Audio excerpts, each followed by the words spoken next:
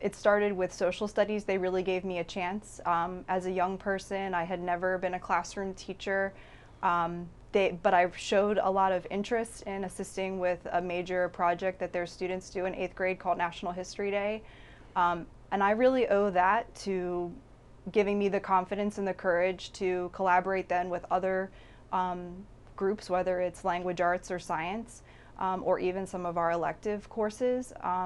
And so I really, I owe a lot of the success that I had to them kind of giving me that chance to step in and take control of the, the curriculum and you know say that library media was here to help with research skills um, because that was something that some of the teachers that were um, involved in the um, in the project were a little unsure of. And so I became that person that was like don't worry I've got it and I'll support you and I'll take some of the load off um, and that's really been kind of the motto was you know I tried to find where different curriculum standards crosswalked with library media skills and standards. Um, and that was where I really tried to find those moments to help um, and to support. And I found that's where I really got the most traction. But it started with actually with social studies.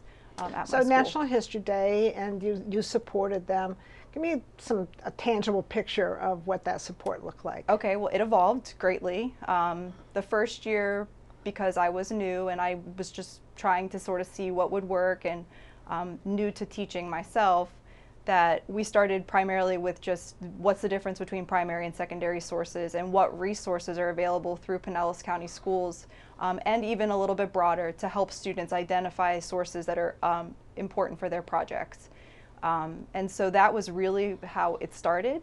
But by the time I left, um, I mean, last year we were doing meditation before each of our classes and I taught four days a week over a six week period because we had four different teachers teaching that particular course that offered the project.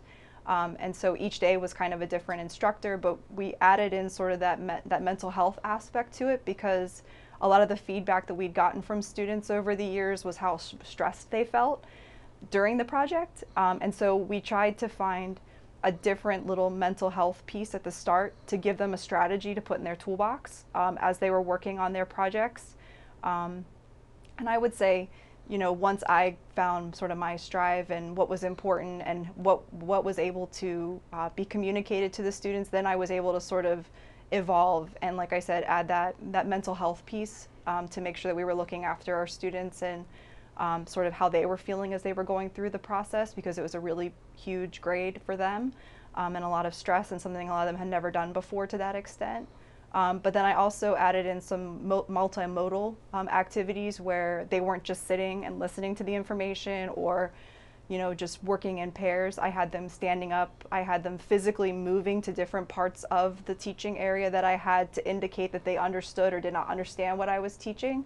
Um, and so I tried to appeal to different learning styles as well by the time you know I'm, I'm sitting here. So up to that point that was really um, that was kind of where it evolved to was that mental health piece plus the multimodal